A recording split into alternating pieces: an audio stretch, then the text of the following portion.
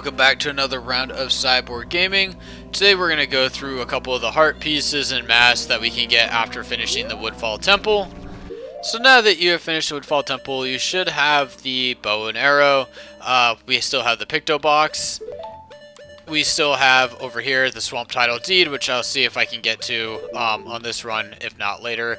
And we have a little collection of masks. And a couple of heart pieces that we need to fulfill. Okay, so here in the southern swamp, you can teleport over here with this uh, little statue over here using the Song of Soaring. But for now, let's get going. There's going to be a heart piece right in front of us when we get out of here. So you could get this one beforehand, um, but we see these uh, bats right up here. Actually, probably do need to kill him this time.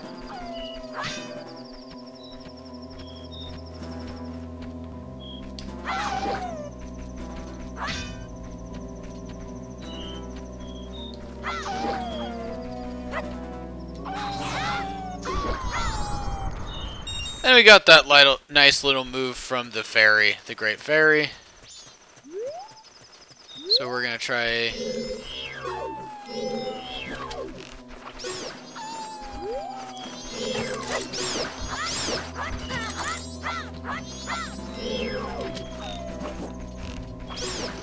go.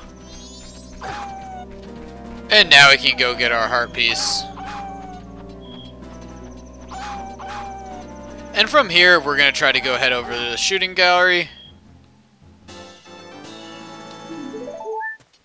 See if it's too late in the night.